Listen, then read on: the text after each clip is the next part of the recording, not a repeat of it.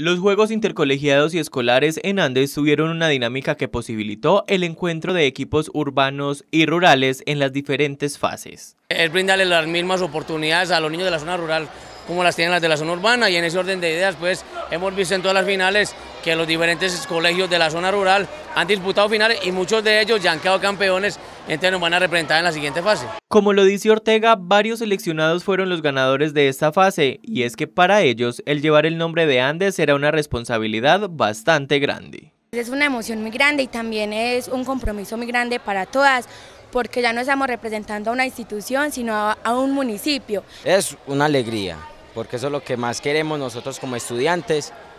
Es, pues Jardín siempre ha tenido un equipo muy bueno, muy excelente.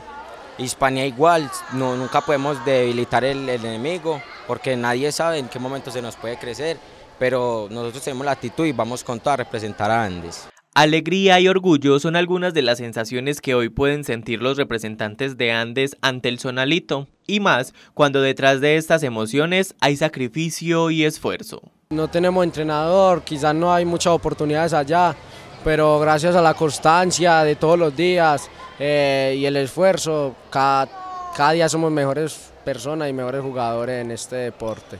Estos chicos son muy juiciosos, ellos a pesar de que es una plaquita, no importa si esté lloviendo, haciendo mucho sol, ellos son muy juiciosos y entrenan, entrenan, van a jugar, eh, la disciplina y el deporte, amor por el deporte también.